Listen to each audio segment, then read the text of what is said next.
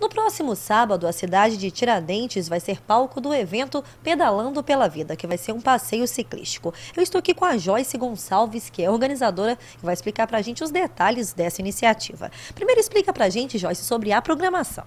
Bem, a, o evento aconteceria no dia 13 de novembro, que era num domingo, na parte da manhã, mas devido ao caso de ter chovido, estava chovendo e tudo, a gente também estava comemorando o Dia Mundial do Diabetes, que era no dia 14 de novembro. Então, nós tivemos que adiar e passamos então para este sábado agora, dia 10 de dezembro. É, a programação vai ser na parte da tarde. É o seguinte, o evento começa a uma hora da tarde. A uma hora, a gente tem a equipe do PSF, que vai estar tá medindo a glicose capilar, a pressão sanguínea e também preparadores físicos para estar tá fazendo aquecimento com o pessoal antes da atividade física, que é a, o passeio ciclístico, porque a largada vai ser às duas horas. É, e também para as pessoas que quiserem fazer, participar de um sorteio beneficente, elas podem doar 5 kg de alimento não perecível um pacote de fralda geriátrica, que vai ser revertido para entidades da cidade. Essas pessoas trocam essa, essa é uma troca né, por cupom. E no final do passeio a gente vai fazer sorteios de prêmios. Aí, enfim, aí às duas horas a gente vai dar a largada, a gente vai ter a Igreja da Caixa d'Água, que é um distrito rural da cidade, a estrada é plana, é sombreada.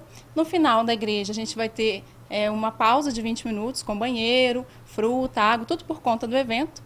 Tá? E depois a gente retorna até a Praça Largo das Forras, que é a nossa praça principal no centro da cidade. Na praça principal, a gente vai estar fundando a Associação de Diabéticos do Dia, aproveitar todo aquele movimento, né, as pessoas envolvidas com ele, e depois a gente faz os sorteios dos prêmios das pessoas que trocaram é, as doações por cupons. É bem simples o evento, mas a proposta é bem essa. Existe restrição de idade para participar e também as pessoas precisam fazer alguma inscrição prévia?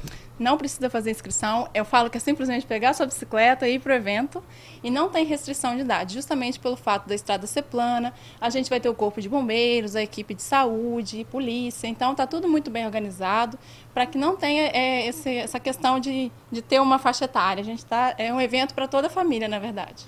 Lembrando que o foco é promover a saúde e por isso vocês escolheram a atividade física. Justamente, escolhemos atividade física porque para os diabéticos, eu sou diabética há 7 anos, eu tenho diabetes tipo 1, então por isso que eu acho que eu sou uma idealizadora do evento, a minha família está toda comigo nisso.